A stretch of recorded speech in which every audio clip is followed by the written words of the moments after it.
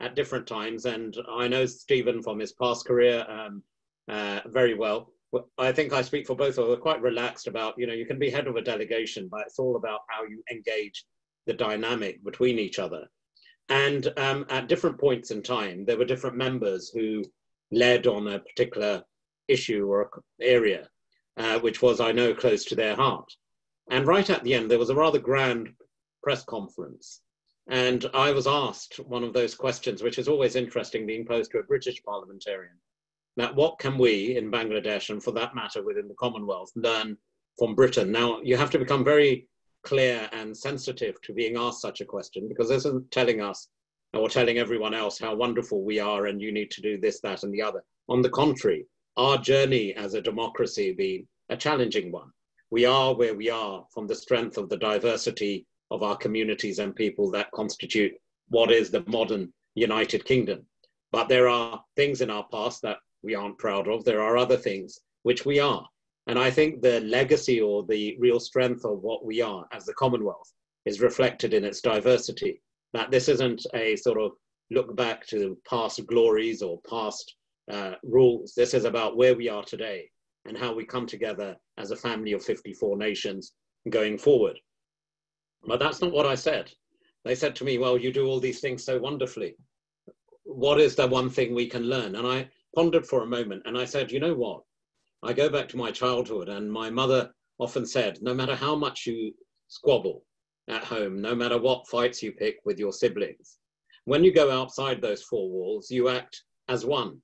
And that's what we do rather well as British parliamentarians, that we have our challenges, as I'm sure you see quite animated uh, and not in recent months, but certainly prior to the COVID crisis, the exchanges we have, which are robust, which are challenging, which rightly hold, as Stephen also alluded, the government to account. And that's a strength of democracy. But when we travel and when we travel in representing our countries, we do so with a great sense of pride in representing our country wherever we may be in, in the world. And we do so with a sense of unity that we are together representing our country. And I think that's a personal reflection or anecdote, if I may, of how we as parliamentarians, how those who serve as parliamentarians within government, as I do now as a minister, work together. And I think that also reflects the very attributes of the Commonwealth. Now, what I plan to do for the next few minutes was just to tell you a bit more about myself, what makes me tick, what makes me so passionate about the Commonwealth. I've been uh, now a Minister of State at the Foreign Office for three years. And many of you would have heard of the new coming together of both the Department of International Development and the Foreign and Commonwealth Office. But in this new department that will emerge in September, I'm delighted and I was very passionate to ensure the C that is today of the Foreign and Commonwealth Office will be the same C of tomorrow for the Foreign Commonwealth and Development Office because the Commonwealth is quite unique this incredible coming together of 54 nations of the world. And as we've got today on Scholars, I had a quick glance at the incredible talent that we have. And literally, both in terms of country represented, but if you say, see, we're starting with Antigua and fi- finishing with Zambia, we really have got the A to Z of the Commonwealth at this meeting with us today. And it's great delight to join. Now, there's a sort of personal side to this when it comes to the Commonwealth. Um, I'm a product of the Commonwealth you know, my parents were both from India. I'm a born and bred Brit and passionate about it. My wife, she was born in Pakistan, grew up in Australia. Now, some would suggest that our three children are somewhat confused in terms of their identity. On the contrary, they're very proud of the fact of the different cultures, communities, religions, and countries they represent. So I'm very proud that amongst the other badges I wear and labels I wear, I regard myself as a walking, talking product of the Commonwealth and its vibrancy today. And that, I think, that personal level of passion, if I can call it that, but the real engagement of learning what one's own personal journeys are and where you are today makes me really hugely privileged and honored to be serving as Minister of State for the Commonwealth. I reflect back to 2018 when we assumed our role as chair in office. Uh, the then Foreign Secretary, now Prime Minister, was uh, someone I got to know very well, and we worked very closely with him. And he's a great man who likes the setting the scene. At one point, you know, because of the challenges. Perhaps we couldn't quite meet the ambition he set myself. I remember on a lighter note, one of the first things he said to me, he said, Tariq, bring me elephants down the mall. Now, that was quite an interesting first ask of the Foreign Secretary to the Minister of State for the Commonwealth. And whilst we didn't quite get the elephants down the mall, what we did get was the incredible spectacle of people of all different backgrounds, countries, communities coming together, the heads of government coming together as one in London. And you know what? London provided the weather to match. I, I had many Caribbean, Asian, and indeed uh, Australian friends saying to me that, look, we brought you the weather. I said, no, mm-hmm. like the Commonwealth, we're proud of our role as Britain, and this is British weather laid on for our Commonwealth friends. But there was great sense of commitment, but also a great sense of conviction of what we can achieve together. And there were some remarkable decisions taken at London in 2018. And notwithstanding the COVID challenge, I'm very much looking forward to working hand in glove with uh, Rwanda, as we already are. I've been having quite regular calls with the foreign minister of Rwanda on seeing how we can continue to work together on ensuring there's a continuity on the decisions that we made, whether it was on issues of cybersecurity, whether it was investing in girls' education and youth, or whether it was looking at the challenges of climate change, that we come together and see what we can do together collaboratively as the Commonwealth. Now, within my role, I have uh, incredible scope. Um, quite often, I'm asked to speak at various Commonwealth events, as I am today, but I'm hugely proud of the engagement we have within the context of the Commonwealth. And uh, in the interest of time, I just share a few areas that we've really been pleased to achieve. Now, I'm Minister of the United Nations as well, as was said in my introduction. And one of the things that struck me when you see these different groups operating within the context of multilateral fora within the United Nations, perhaps what we didn't do as effectively was bring the Commonwealth together. So I pay tribute to our ambassadors, uh, now our ambassador over in Washington, Karen Pierce, who really took up the challenge for me and said, Minister, we will deliver. And there was not a meeting that I had whenever I was in New York for a UN meeting which didn't have a Commonwealth element to it, whether it was a breakfast with the permanent representatives, whether it was coming together on a common agenda such as climate change, environment, and oceans cleanup, it really made me realize the real strength of what was an idea turning into a demonstrable quality. So we've now formalized formal briefings for Commonwealth members, such currently South Africa, the UK. We welcomed uh, St. Kitts onto um, St. Vincent and Grenadines, rather, onto the uh, Security Council and coming together as countries of the Commonwealth and how we can brief together on the priorities and also engage on the Security Council, amongst other fora, on the important issue. The other area I just wanted to reflect on is I'm also Minister for Human Rights. I often say the greatest test of someone's own principles and beliefs is how you stand up for the rights and beliefs of others. Now, whether we're talking of issues of gender, whether we're talking of issues of LGBT, whether we're talking on issues of religious faith, and of course, race, which has dominated the agenda um, over recent weeks. I think it's important that what is the Commonwealth? It's about bringing these values together. The strength of the Commonwealth is, yes, through its democratic principles of good governance. It's about looking at the rule of law. It's about looking at justice and accountability. But also, importantly, it's how we represent the rights of our own citizens, but within the context of the Commonwealth family, how we stand up for vulnerable communities around the world. Now, I'll be the first to say that the Commonwealth in itself, when we look at the spread of 54 countries, that we're, we're not there. We've got a long way to go. But it's for us such as these, where we bring together the next generation, all of you, the Commonwealth scholars, who are looking currently at the Commonwealth, who are looking at the dynamics within their own countries. And as we heard from Stephen, there's many scholar of the past who's gone on to become leaders of their own countries. And when you look at the scope that 60% of the Commonwealth is under 30, it is important that we focus on that agenda. And it's through events like this, to people like me, who are the current decision makers of today, that we can ensure those significant opportunities which need to exist for the youth around the world, but particularly within the Commonwealth context, are clearly understood but also made available to every single citizen who so desires it. And therefore, again, I was delighted in London that during the Commonwealth Heads of Government meeting, for the first time, we had at least one individual, and we asked that of each member state that attended, that they had at least one member of their official delegation, not just in the margins, but an official member of their delegation who was under 30. We had a youth forum where His, His Royal Highness Prince Harry was an incredible uh, magnet and convening power in what he did about bringing youth together. And I think it was a demonstrable show of solidarity across the Commonwealth that no matter what our backgrounds, what our communities, what our faith, what country we represent, that when we come together as a Commonwealth family of nations, what can be achieved. So there's still much to be done, but we need to reflect on what has been achieved thus far. And I look forward to hearing some of your questions, your reflections, your observations. And I say very candidly and openly to, to all of you that if you have got suggestions which help to improve the workings of the Commonwealth, if you've got ideas which help to improve the workings of your own government and indeed the Commonwealth family, just don't sit back. And I'm sure most of you have already that energy and enthusiasm uh, to come forward. Don't shy away from presenting your ideas. And I end, if I may, where I started, you know, on sort of a couple of uh, personal anecdotes, if I may. Um, there are many passions, and I'm often asked, Tariq, you know, what really make you tick?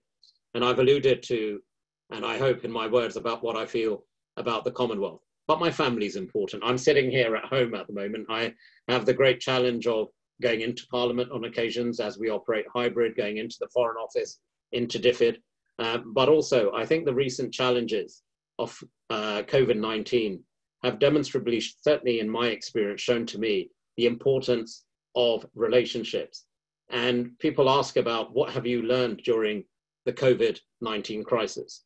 Well, firstly, as a Liverpool fan, I was delighted that after 30 years of hurt and wait, we finally won the Premier League. Now, this means a great deal to me, and not least because I've got an eight year old son who doesn't know what Liverpool winning the title means. I grew up for those who are interested footballers in the Ray Clemence, Kenny Dalglish era.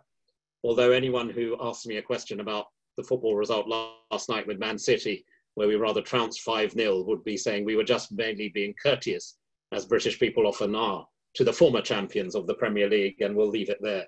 But on a more serious note, I think the COVID challenge has shown to all of us, and to us in government, it's an absolutely clear challenge that the way to resolve the issues, the challenges of the world, we're at our best when we work together. And ultimately, the interdependency of humanity is there to be seen. How we're meeting the life channel uh, challenge of how we meet the health needs across the world of the most vulnerable. And importantly, I'm proud of the fact that we hosted an incredibly successful summit on vaccines, which raised over $8.8 billion for the most vulnerable for the children of this world. And that again demonstrated to me that notwithstanding our domestic challenges, the issues around economies and ensuring people stay safe, but also stay supported in their jobs and professions, often because they can't fulfill those obligations. Notwithstanding all of that, when the world came together, we were able to raise money for the most vulnerable. And that shows an inherent strength of what is our common humanity. So thank you once more for inviting me to be part of this meeting today. I'm really grateful. I look forward to working with all of you. I look forward to working with Stephen and his team. And I think this is the first time I, um, I'm saying in person, congratulations to him on his new role. But I really look forward to working with you as we continue as chair in office of the Commonwealth and build towards that common future in Kigali in 2021. Thank you so much, Alastair. Minister, thank you very, very much indeed. I was with you all the way until you mentioned Liverpool, but I'm an Arsenal fan, so I wasn't so sure about that bit. But the rest of it, I mean, it was so forward looking, personal, committed, uh, and really encouraging for all of us who are committed to Commonwealth interests. It's, thank you very, very much. Now, there are questions. We won't be able to take all those that uh, want to ask them, but um, I'm going to start, if I may, by calling on uh, Adebola uh, Adedoyin. Excuse me if I've not pronounced your name correctly, although I have visited Nigeria on a number of occasions. But perhaps you would like to put your question, Adebola, to the Minister. Thank you very much. I'm Adebola, a master's student at the University of Bath. I'm currently studying um, international development. Thank you very much, sir, for that speech and for your works at the Commonwealth. Uh, my question is, will the merger between the DFID and the Foreign Commonwealth Office um, implicate or have effects on education interventions in African countries or Asian countries, or what are the implications of this merger on education um, interventions in Africa and Asia, especially for displaced persons and refugees. Thank, thank you. you. Minister? Yeah. Well, thank you for that. First and foremost, uh, I feel I'm back in Parliament asking, uh, being asked a question on the merger of the FCO and DFID. Um, I just take you back. First of all, what is the motivation behind this? I remember when Boris Johnson, our Prime Minister, was Foreign Secretary, and in as the Minister, also in the House of Lords, once a month we used to have a catch up. I'd see less of him in the division lobbies. So we used to get together for breakfast. And in that, he's a man who be, believes in great passion about um, education. He's a man who believes in great passion about resolving some of the core challenges of the world, including on educating the most vulnerable. And that's why this passion he has for girls' education translated into not just talking about it, but supporting it financially um, as well. Within the context, why I say that is that part of the challenge that was often faced um, within the Foreign Office. And I remember because I was a Foreign Office minister, that's how I started before becoming a DFID minister as well. There were occasions, not everywhere, that there were parts of the world that the strength of our diplomacy wasn't aligned with the work we were doing in the development sphere. And it's important when you're representing your country's interests abroad that you do so in a very collective form. We've been talking about how countries act together and come together. And certainly for me, in my own experience over the last three odd years on the international stage, the strength of how we work as a United Kingdom on a bilateral basis, how we work as the United Kingdom in a multilateral fora, uh, such as the Commonwealth, the United Nations, and how we work through regional alliances. We need to bring together, whether we're talking diplomacy, development, trade, or defense. It's important how we bring together our equities to ensure that we're really strengthening our bilateral ties. So rather than it being seen as a dilution, I think uh, the fact that the new department will have the word development, I alluded earlier to being proud of the C. I'm also proud of the D, um, because I think that will reflect that the development uh, aspects of the merger will be very much reflected in the new department. I'm also Minister for HR across both departments, and I can assure you with the great number of staff meetings we've been holding by both the DFID Secretary, most recently with the Foreign Secretary. We have, again, to our own people, given reassurance about the importance of really embracing the development insights and experience in the new department as we move forward. And that's an ambition which has been stated from the top by the Prime Minister. The other assurance I can give you is we're absolutely committed to the 0.7%. There was a cross party agreement when this was enshrined in law. And I'm very proud of that achievement. I was part of the coalition government that saw that legislation come to light. But it'd be fair to say there are always exceptions, but the general thrust of parliamentarians, irrespective of what party you represented, was in favour of ensuring that our obligations to the people, the most vulnerable, those who need immediate humanitarian assistance, those who need to be alleviated from poverty. We earlier, I know reference was made to various SDGs as well that we show our commitment by actually enshrining in law. So, irrespective of change of governments, it would require a major change to allow for this to be sort of undone. And I think we stand very firm, as the Prime Minister said, on the commitment to the 0.7%. Of course, with the challenges we've had domestically, the actual uh, commitment is based on GNI. Our own GNI has been impacted, like anywhere else in the world, on because of the COVID crisis. But we've been over the last few weeks, even in advance of the merger being announced, going through to ensure that our priorities are reflected in keeping programs running on the ground, uh, reflecting our commitment on the key priorities such as humanitarian relief, alleviating priority. I've already alluded already to the important work being done in the vaccine field. That money was not just for fighting COVID-19 because we're still working on that vaccine, is ensuring that we don't lose sight of the important strides we've made on issues of eradicating malaria, which the Commonwealth has done a fantastic job on, and also things such as polio and cholera, which remain challenges which are live within the world and live within the context of the Commonwealth. So, for um, you, both through our people and our programs, we remain very committed. Minister, I'm sorry to interrupt. I'm very keen that we have one more question before you vanish. Um, we've already uh, uh, had a very good presentation from you, but there's a very personal question from Abbas Gaba. Uh, would he please put the question, put it briefly, and Minister, I'm sorry to ask you to answer it fairly curtly as well. But uh, Abbas, are you there, Abbas Gaba? Yeah, yeah. Hi, thank you so much. Great. I'm from Delhi and I'm studying Master of Public Policy at Oxford.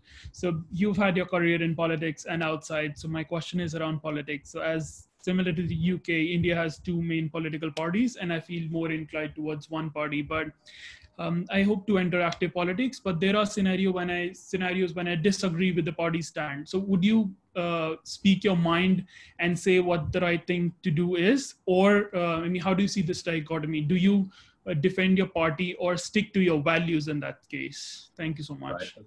Uh, very, very question that should be put to all politicians, I think. no, and it's a perfectly pertinent question to have. I think when we joined the party, ideologically, you need to understand why you joined. I joined the Conservative Party in 1994. Now, this was a time when anyone who remembers, and I'm sure Stephen remembers this very well, uh, as someone who won a resounding victory in 97, half my friends thought I had lost the plot, you know, and being of a particular background, ethnicity, there weren't many people drawn from the minority communities of UK to the Conservative Party. But my argument was very based on I looked at the ideolo- ideology of the party, the philosophy behind the party, and I said, could I be able to defend the fundamentals of what my party stands for in terms of meritocracy, rule of law, family, uh, so on and so forth. And that's the one thing that, as to why I became a conservative, that I could knock on someone's door on a cold, cold, cold November night and actually articulate my party's policies, not through just populism, but because it was the right thing to do based on principle. On the issue of where there are differences, have I had them? Absolutely. Um, uh, there are occasions which arise. And I remember having a very pertinent conversation with um, uh, one of my colleagues over an issue which arose on the international stage. Um, without giving and divulging too much secrets on this, um, we both agreed that there was the same policy. And you have, as a politician, the opportunity to resign if you feel so strongly that you can step down. I also take the view that if you believe passionately in both an issue and you believe in the principles of your party, until such time that you feel it's no longer going to have that impact, if you really believe in something, you have to change from within and you make your arguments and you present your arguments on that progressive pro, uh, program from within the party. And that's certainly what I've sought to do. There's been a number of issues um, I, my style is not to always go out and crow about them and say, look what I've achieved. Look, I believe because it's the right thing to do that I will continue to do that.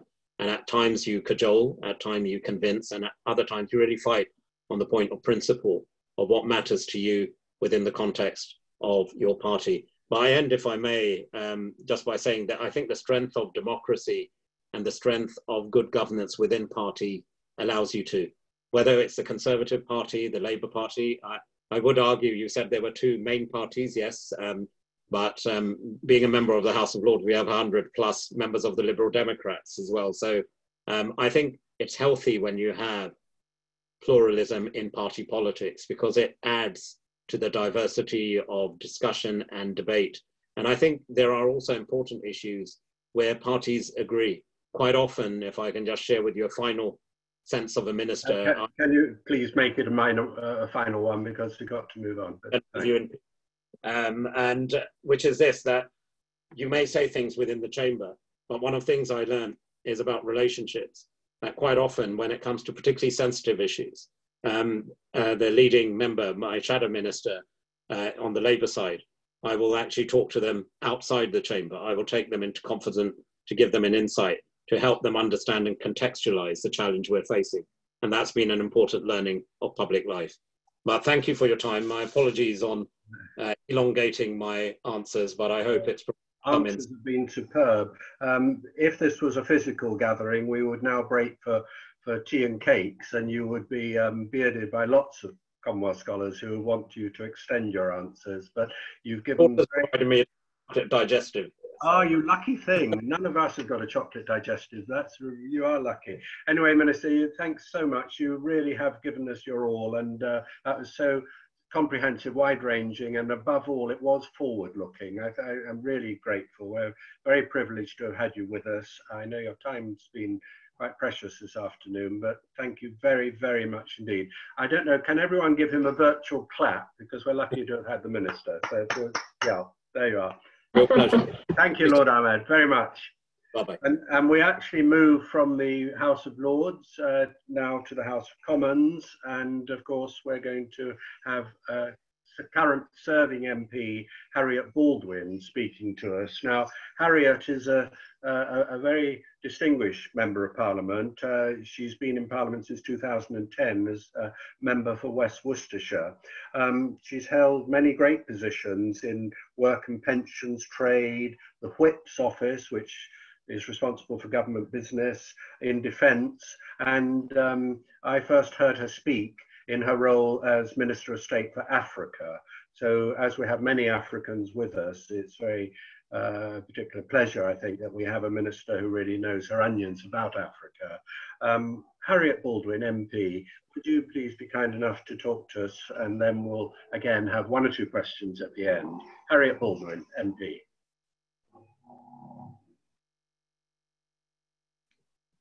She was there. There we go. I've unmuted. well, you've unmuted. I forgot to tell yeah, you yeah. that. Hello, yeah. Harriett. I'm Alastair. Thank you very much. Have you been with us throughout, or have you just joined I, us? I just uh, heard the end of Tariq uh, Ahmad's speech there, and um, I just want to say good afternoon to everybody, and thank you very much for inviting me to spend some time with the Commonwealth Parliamentary Scholars this afternoon, and uh, and how uh, absolutely wonderful it is to join you, albeit virtually, um, I'm joining you from my home in West Worcestershire, which is in the beautiful Malvern Hills. I hope that uh, during your time in the UK, uh, you do get a chance to visit Worcestershire because uh, it is absolutely glorious and you would uh, be ensured of a, of a warm welcome. And I'm in Worcestershire today because it's a Friday.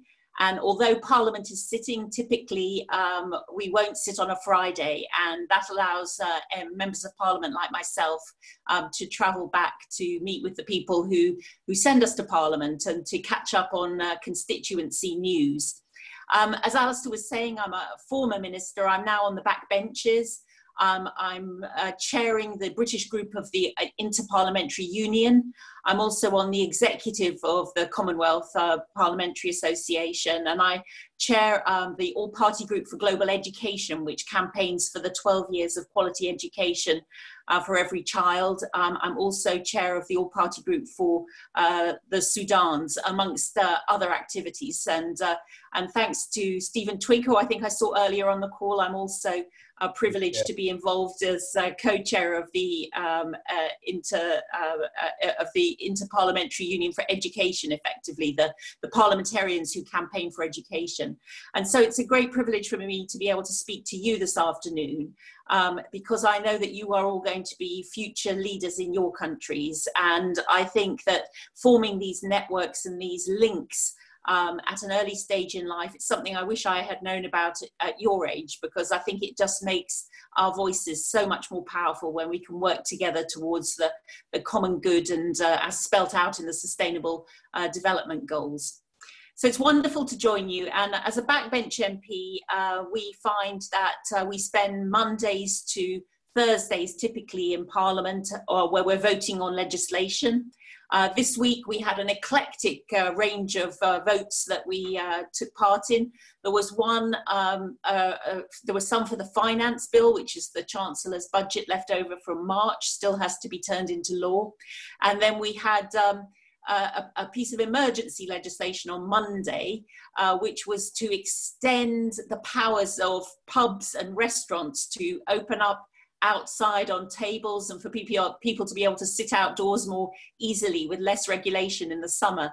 And of course, that's a response to the fact that tomorrow is a big milestone in terms of our, our route back to a new normal from uh, the, the COVID uh, uh, pandemic. And we're reopening a lot of hotels and uh, pubs and hospitality venues, restaurants tomorrow.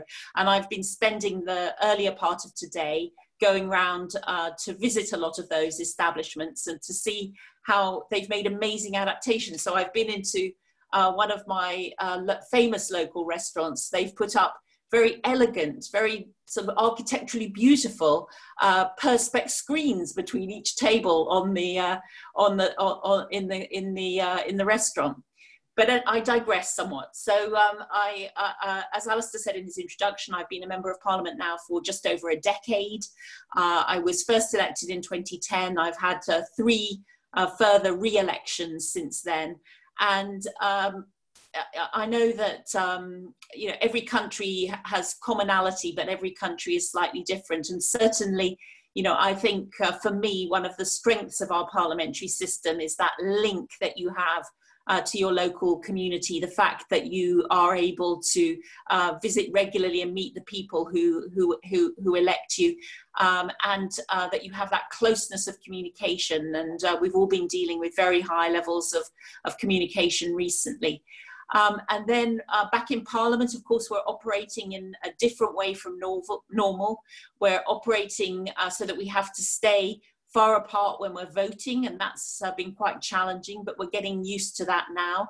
And we have to have um, a Commons chamber. You've probably seen photographs, um, which is uh, really virtually empty. It can only hold 50 people. And uh, that's quite a change from the, the sort of 650 MPs who like to crowd in there for big occasions like Prime Minister's questions and for, uh, for budgets and so on. And it's also been quite challenging in terms of getting through line by line legislation. There's not enough big committee rooms. Um, you can't have any of the meetings you would normally hold in Parliament. You can't meet with visitors or constituents in Parliament. Normally it's open to the public. So it is uh, feels very different, um, but fortunately we have media like uh, Zoom and uh, all the other technological advances that are helping us uh, remain close to uh, the people that we represent. So that's a little bit about me. Um, I'd be thrilled to take questions from all of you. I heard uh, Tariq's, uh, most of what Tariq was saying, and he was saying how powerfully important this network is and um, how important uh, we as UK parliamentarians find this network to be. And we wish you every success in your studies here and have a wonderful time here, but also great success when you return to your countries with your, with your degrees from the UK. Thank you very much indeed, Harriett. We, um, we invited you, uh, as we do every year, invite a Member of Parliament to speak about what it's like to be a Member of Parliament on a day-to-day -day basis in the Commons and moving about your constituency and so on. And you've done that perfectly. You've summarised it. And of course, shortly we'll be hearing from Lord Luce, who'll give us the kind of opposite view from the House of Lords, although he is also former Member of Parliament in the Commons. But Harriett, thank you so much for that, and I'm sure there will be questions. Indeed, I've got one from uh, Angela Karanteng from Ghana. Um, Angela, are you on screen? Maybe you could put your question directly to Harriett Baldwin MP. Thank you. Hello, how are you? Akwaba. Thank you. So I would like to ask, what are the initiatives and practices in place to encourage more women and people with disabilities to be part of the parliament, both in the UK and in the Commonwealth as a whole. Thank yeah, you. thank you. Thank you so much. And um, lovely to see you. Um, and I know that, uh, you know, one of my motivations uh, for going into politics, because I like to say that for the first 50 years of my life, I was a normal person. I, I wasn't a, a, a look fairly normal, I, I, was, uh, I, I, was, uh, I was not a politico. I wasn't involved in politics. I wasn't a member of a political party, but I began to realize that, you know, from my perspective in terms of my political views, there didn't seem to be very many women in my party. In fact, I think at the time when um, I first uh, got involved, uh, there were 17 women in the Conservative Party. And uh, so I realized that actually, if I wanted to see change in my lifetime, and I uh, have a strong ambition to see 50 50 parliament in my lifetime, I think we're about 30, 31% at the moment um, that um, you know I, I couldn't just sit on the sidelines. I had to be part of uh, of seeing that change, and uh, I'm very very pleased that I did get involved in politics. It's incredibly rewarding. It's um, a job that uh, I think um, you know women are amazing at. I've got some amazing female colleagues, and um, I thoroughly um, uh, involve myself in all of the efforts and the outreach within the UK to try and encourage more women to think about politics as a career, but also as a second career, as it was for me. And so um, I think it's, um, uh, it, it, you know, we're making good progress, um, but we've still got a very long way to come. And I note the fact that it's only, you know, 100 years since we've actually had women in uh, our parliament in the UK. And I note the fact that it's only just been uh, the case that we have um, had in the whole history of the United Kingdom and the length of that, uh, that we've only just gone past the point where there are more women in history who've been members of parliament in the UK than there are men currently sitting in our parliament. Thank you very much. Um, I hope that's all right, Angela. Uh, excellent answer anyway passionate one. Karimi, who's studying at Sheffield Hallam University. Um, Karimi, are you there? Yeah, hello. Hi. yeah. Um, Love right, the background, Karimi. thank you for the opportunity. Yeah, and a lovely background. Is that Kenya or England? anyway, thank you very on. much. Thank you very much for this um, this, um, opportunity, even to study here and just be part of this forum. My question is how committed is the UK Parliament in tackling issues of systemic racism in the UK? And then what are the policies and practices in place that can be borrowed to tackle similar issues of tribalism and or nepotism in Commonwealth countries? I'm interested in this because I'm from Kenya and we have real issues of corruption based on, you know, who knows who. It's a very pertinent question. If I may just mm. intervene for a Sorry? Uh, headline news today was uh, uh, probably our country's most distinguished historian has had to resign his uh, fellowship in Cambridge because of uh, accusations of systemic racism. So, Harriett, what's your response to Karimi's excellent question?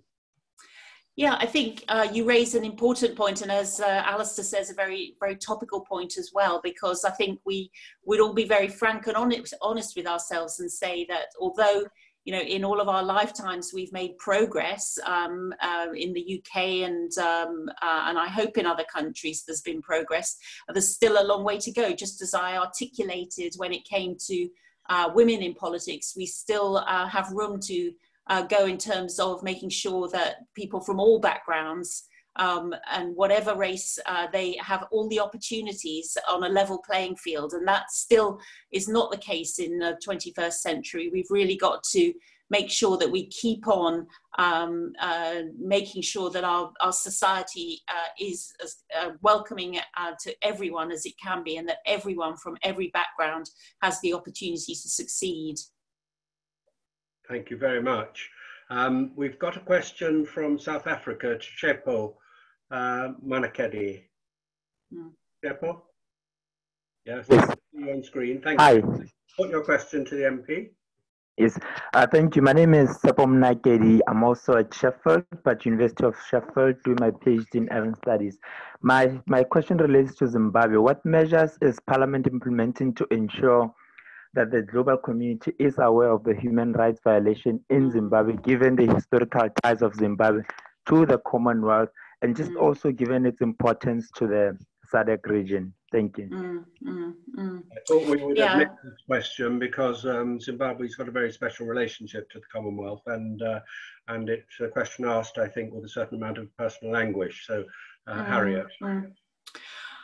Well, I would say that it's, um, you know, my sincere wish would be that uh, that Zimbabwe would uh, be able to uh, fulfill its uh, its its potential and its um, uh, you know opportunity that is there and being offered by the international community. The UK very much at the lead um, uh, in terms of that to follow a path that would enable it to um, find uh, its way back into the family of the Commonwealth. But I would have to say that the evidence, uh, on, e- despite the you know the, the optimism that came with the uh, the end of the Mugabe era, I think um, it's, it's very hard to remain.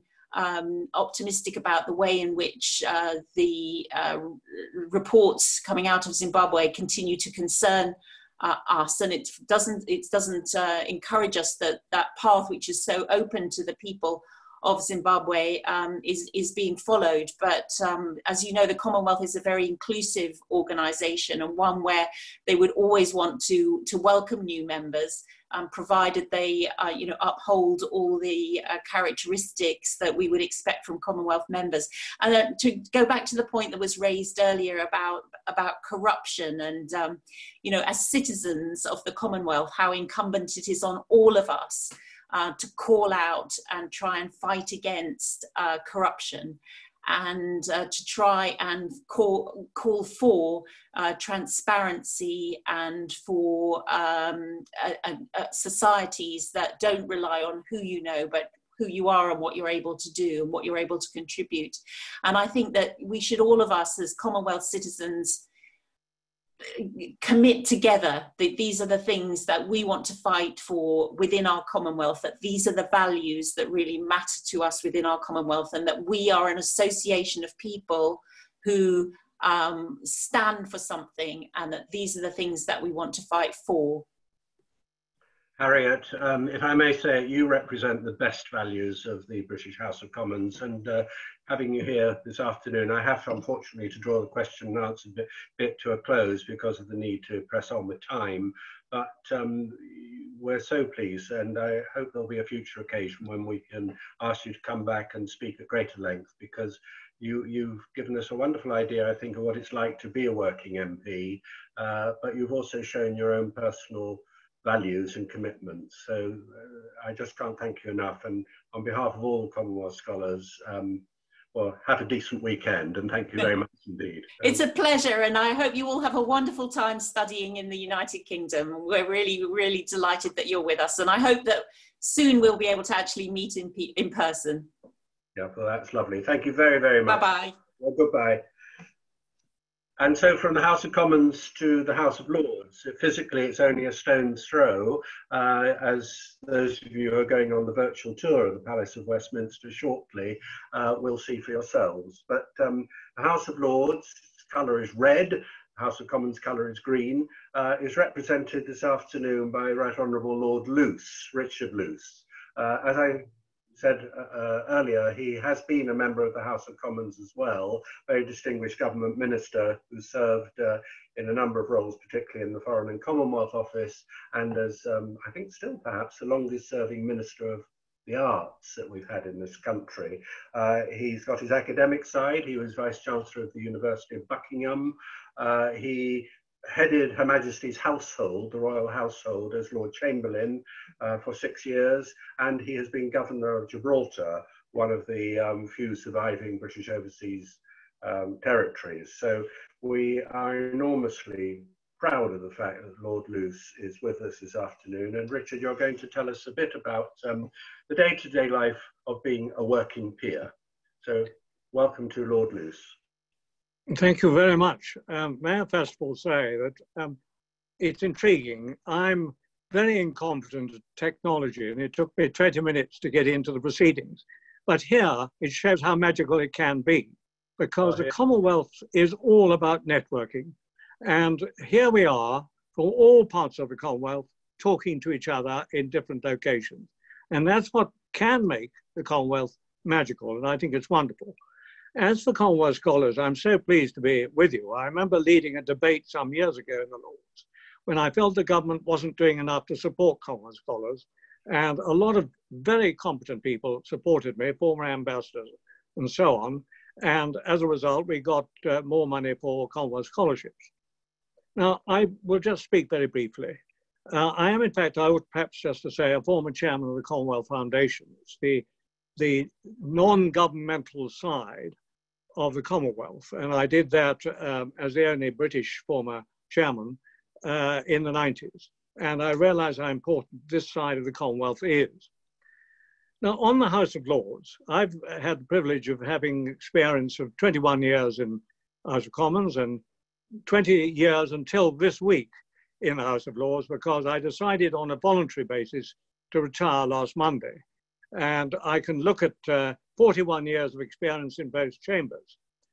There is a big difference, and this needs to be emphasized between the Commons and the Lords.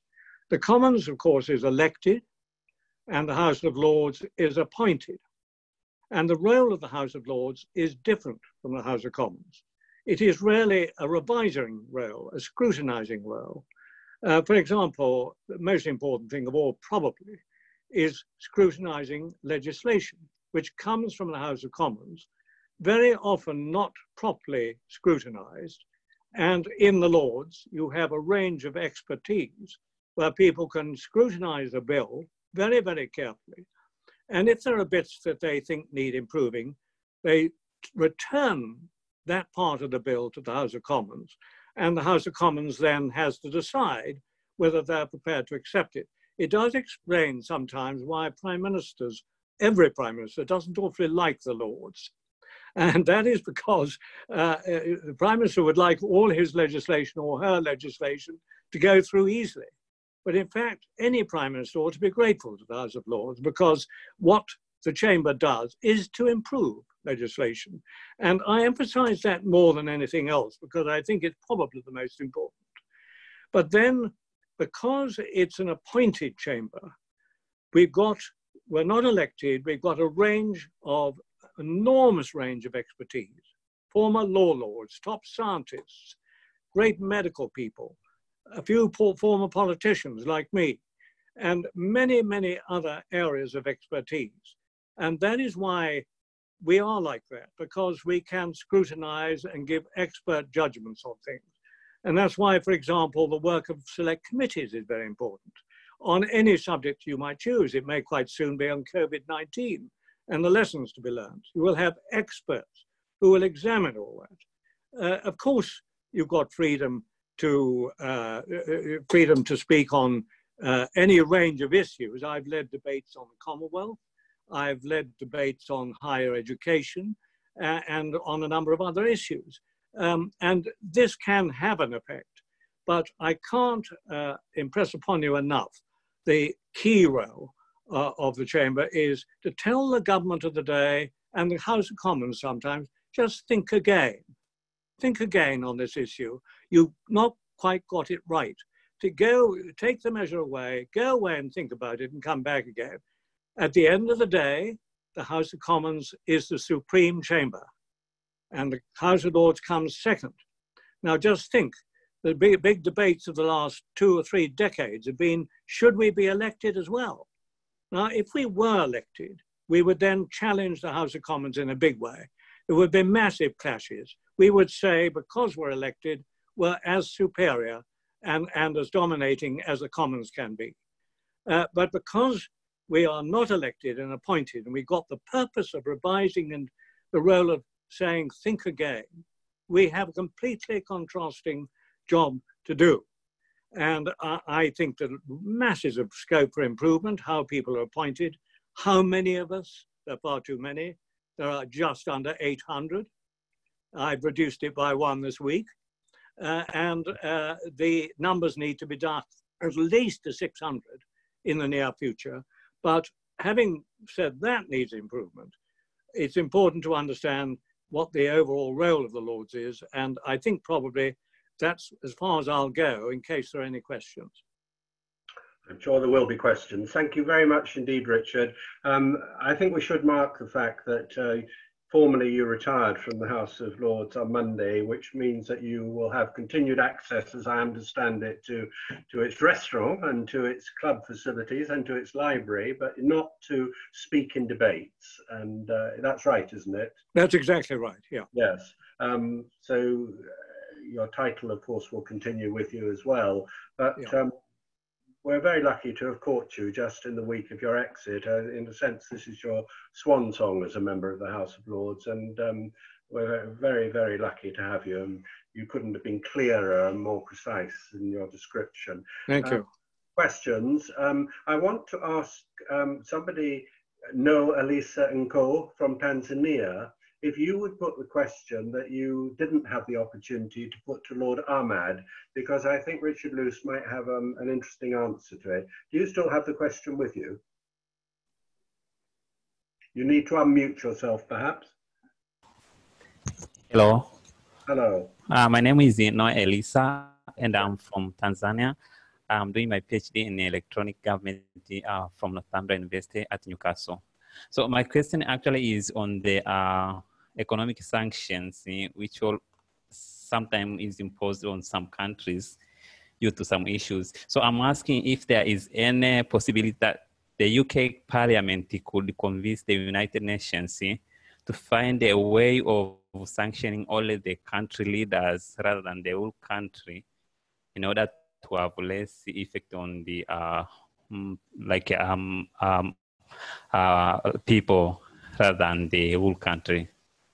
I thought it was a very subtle question, which is why I want it put to, to a parliamentarian, which is whether there's some way in which sanctions can not impair a whole country, which it often impacts particularly on poor people. Uh, yeah. leaders who are being held morally accountable by the sanctions. Richard Luce. Yes, it's very interesting. This, of course, I remember the time I was Minister for Africa at the time that Rhodesia turned into Zimbabwe and we had the, uh, under Lord Carrington's leadership, negotiations uh, in Lancaster House, London, uh, about proceeding towards independence for uh, what is now Zimbabwe. And of course, through all the previous years leading up to independence, there had been heavy sanctions imposed uh, by us and by other United Nations countries on the uh, Rhodesia uh, which we didn't recognize um, and was led by Ian Smith. And there have been plenty of studies since about the effects and values of uh, sanctions. You can argue that it helps for a time at least to the person you're imposing the sanctions upon uh, to enable them to say, well, up against it, come on, you rally everybody behind you. Uh, that is one problem. Um, uh, but uh, on the other hand, in the long term, uh, it is important to make clear your views. And um, th that uh, is what we did with South Africa, and what we did with Zimbabwe. And in the end, it does have a devastating effect. Now, I think uh, technology has gone slightly wrong here. No, no, we can hear you. You can hear me. Yeah, yeah. no, everything's fine. Yeah. Good. If you I've not given I've not given him our colleague from Tanzania, which is a wonderful country I've been to, and I remember meeting Julius Nyerere. I haven't given a good answer, but there are arguments both ways, and they do sometimes add to an advantage to the, the person you're imposing the sanction on, for a time at least. One has to be aware of that. When I say the person, I mean the president or the prime minister and the government of the day.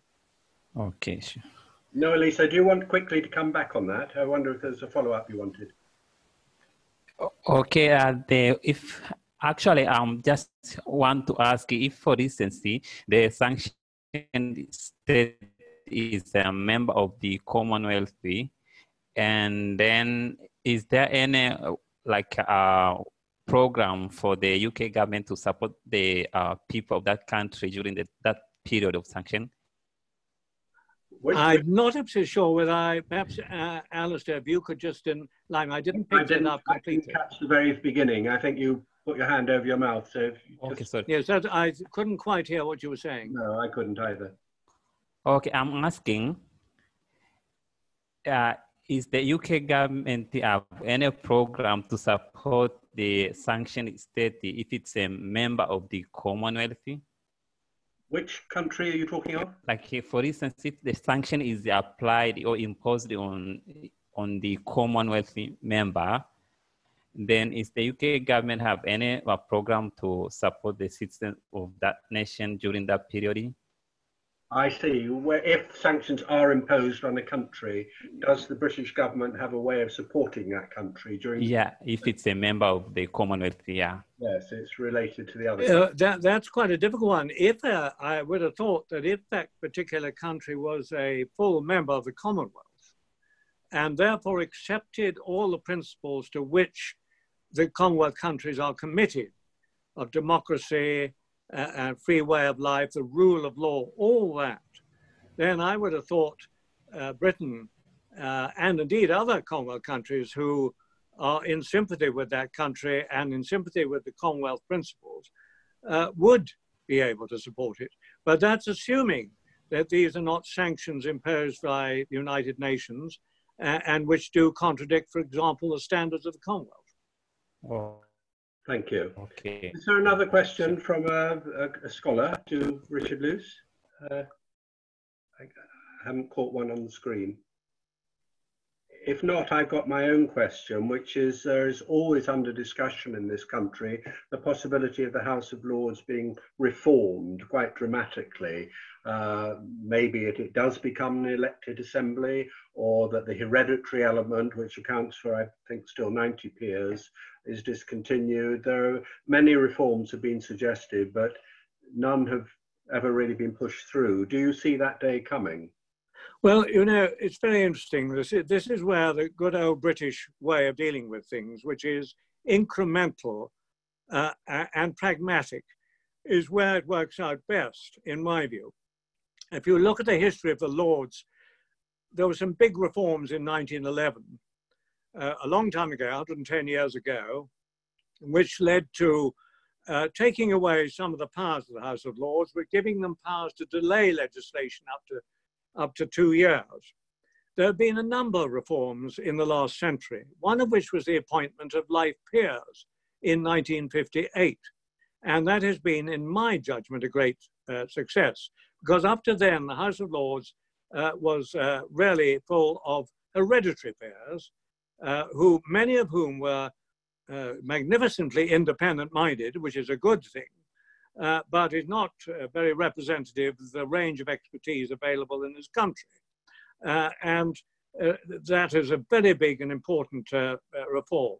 Then in 1999, the number of hereditary peers reduced to 92, so that there is now a balance of all the different parties with a few hereditary peers amounting in all the various parties in the House, including the independent members. So uh, I think it's pragmatic reform, and uh, the present one is on a voluntary basis, which is that we should try to get ourselves down to 600, which is a more sane number of people. And I think at the end of the day, it should be moved even further to about 500 to, in order to enable it to do a good job. Well, it is said that it's the largest assembly of politicians in the world after Absolutely. the uh, People's Assembly in Beijing. So Absolutely. that Yeah. heavy. Yeah. I've made my contribution this week in any event by reducing the size a bit. yeah. Well, friends, fellow Commonwealth scholars, we've, I think you'll agree this afternoon, been privileged to listen to four outstanding speakers, but um, uh, Lord Luce is the most venerable member of the Houses of Parliament, and his contribution to this seminar this afternoon has been so clear so informed and drawing from a lifetime's experience in both houses. Uh, I hope that um, a lot of what he said will have been noted down and you will take it back to your own country so you can reflect on it when you're busily reforming your own parliaments in the future and decide whether you want to follow a model similar to the Westminster one or not. Um, Richard, thank you very, very much. It's always good to have you on occasions like this. Uh, we know that we're going to get a, a very professional job. And although you've withdrawn from the House of Lords formally, you're not withdrawing from the Commonwealth or from uh, uh, public affairs totally, I hope. And uh, Not at all, and I'm delighted to be with all the Commonwealth scholars today. It's your home territory. So Absolutely. once again, as I've done with other speakers, just ask you to raise your hands because that's the only visual thing we can do and just say thank you to Lord Luce. Thank you very much. Thank you. Thank you very much, Richard. See you soon. Thank you.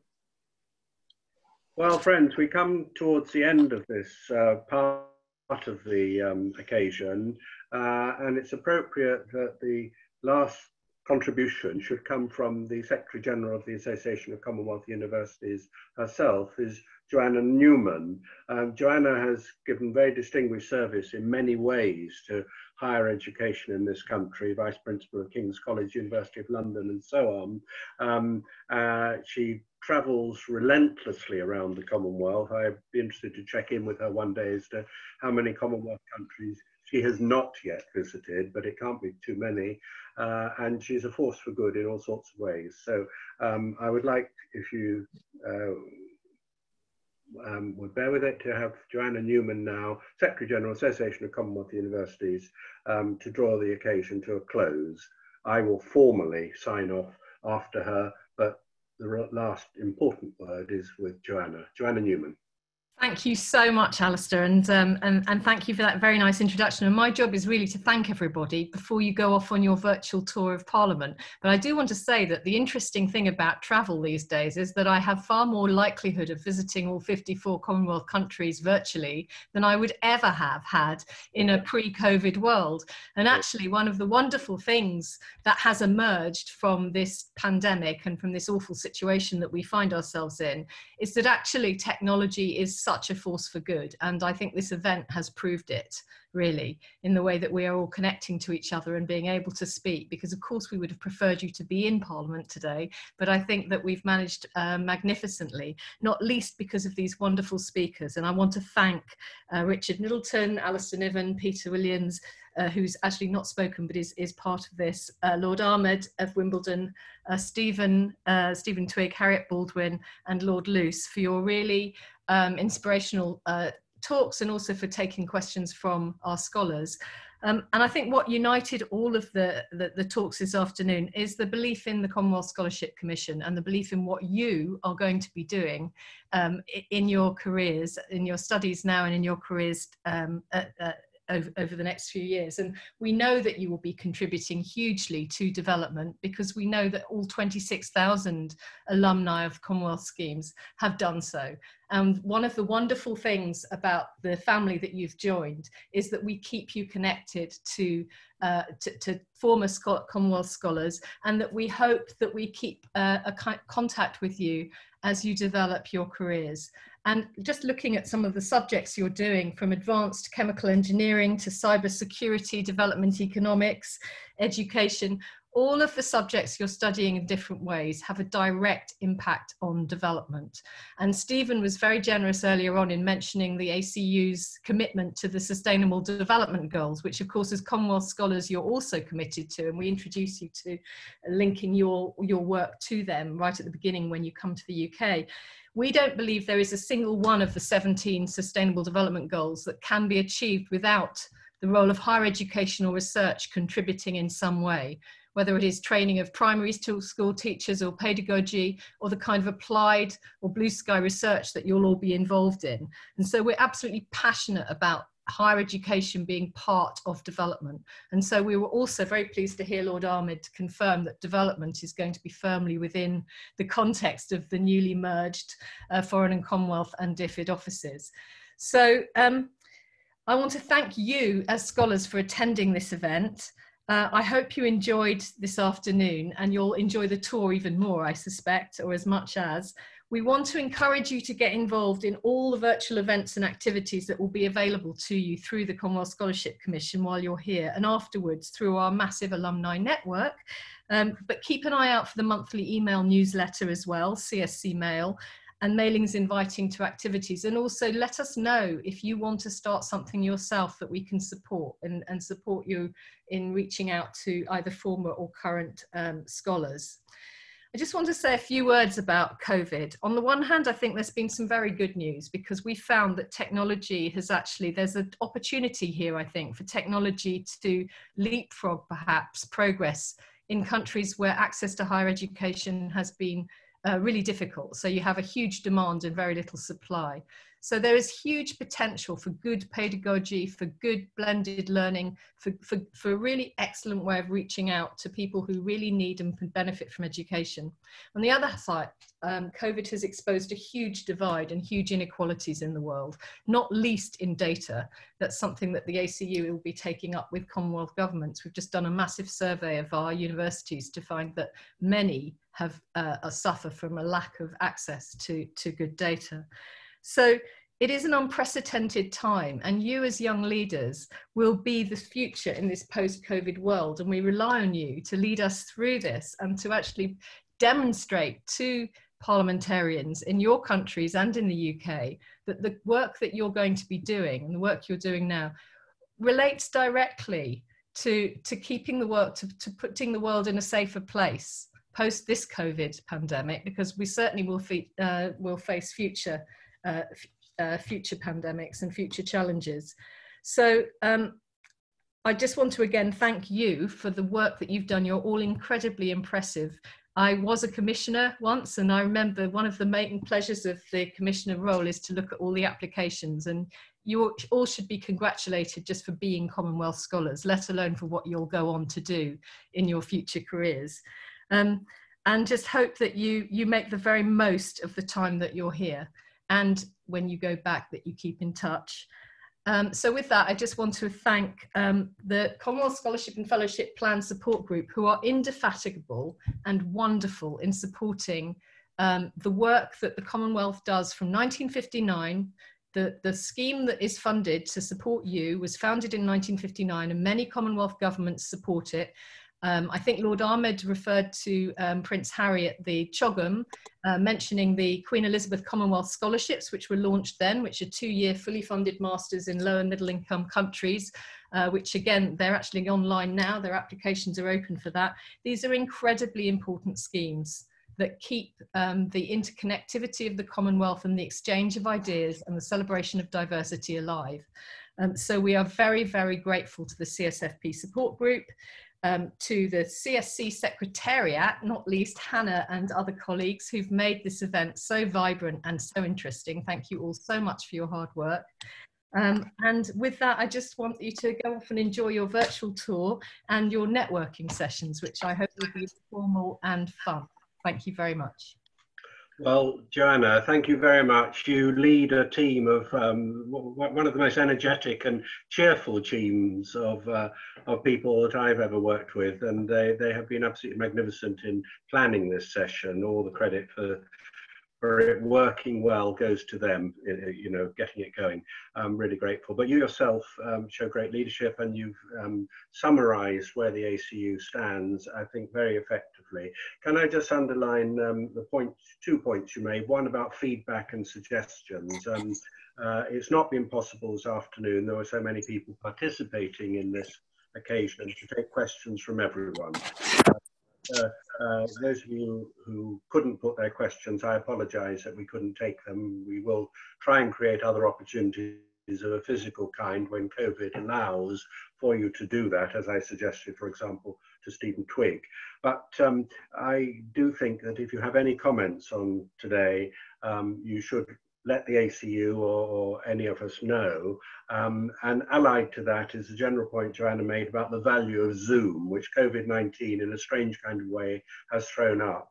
You can get more people together uh, in a Zoom conversation than are likely to meet except for, for the most uh, prestigious of conferences, in a meeting room in London. I was uh, involved in a discussion a few days ago where contributions came in from the Ivory Coast and from the Caribbean, uh, from Australia and from America. There's no way that those people in those countries at that moment could have assembled in London. You know, travel restrictions for a start would have prevented them being here. Um, so Zoom has its advantages as well as its downside. Uh, I hope you've enjoyed this afternoon. Very grateful to you to be here. Uh, I want to underline my opening point is as a former Commonwealth scholar myself, I owe so much to this scheme. It's supposed to identify future leaders. It, not sure it did that with me, but it certainly does identify people who are going to be very committed I think, to good values throughout their careers. And um, all of you have got wonderful opportunities ahead to make a real mark in your own countries. I hope you'll look back on this period in the United Kingdom as helping form the person that you will be in the future, as I do my years in Ghana.